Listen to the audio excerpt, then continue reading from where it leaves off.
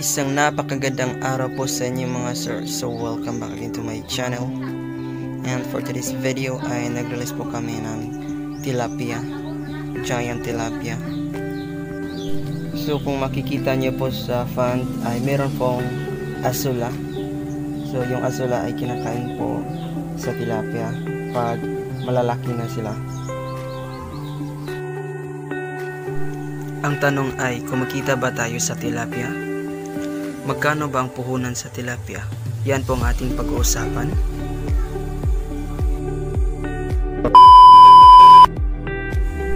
So bago ang lahat, kung bago ka pa lang sa channel na to, huwag mong kalimutang mag-subscribe, hit yung notification bell para palagi po kayong updated sa mga bago kong upload na video.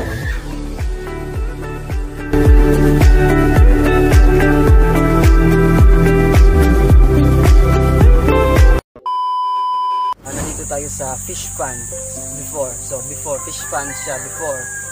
So ngayon ay naging basaka na po siya. So nagtanim kasi kami ng palay dito sa mismo fish pond. And yung tanong natin ay kumikita ba tayo sa tilapia? So balik po tayo sa tanong. Kumikita ba tayo sa tilapia? Ayan. So alam mo ba sa walong piraso na tilapia, ah, equivalent isang kilo. Sa, sa 1,000 na tilapia, na nilagay mo sa fish pond so to total nakabase po tayo sa kilo. So pwede po tayo mag harvest ng 125 kilos. Alam mo ba kung magkano ang kilo sa tilapia dito sa amin? So naghalaga siya ng 120 hanggang 150 pesos. Ayun.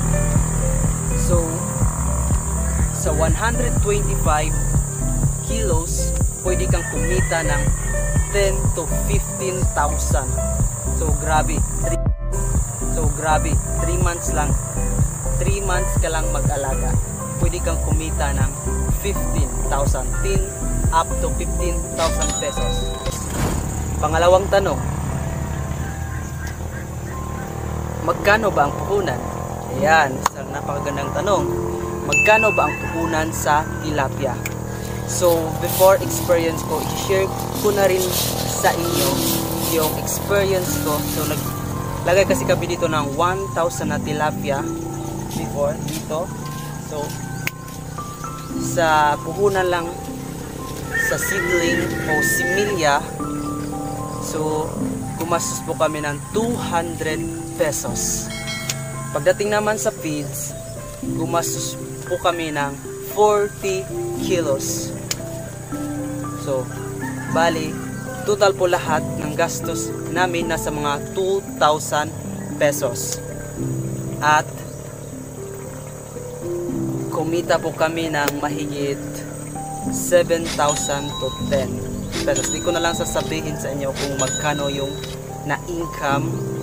Kasi, before, ano siya, nabagyo kasi kami dito sa Bohol. So, bagyong Odette tumama sa amin dito.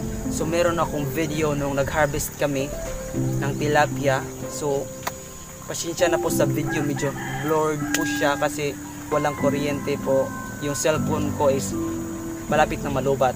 And, that's all guys. And, hanggang nito na lang ang ating video. And I hope na sa susunod nating video at kung nagustuhan mo ang ating video, huwag mong kalimutang mag-subscribe, yung notification bell para palagi po kayong updated sa mga bago kong upload na video. And hanggang dito na lang ating video. Bye!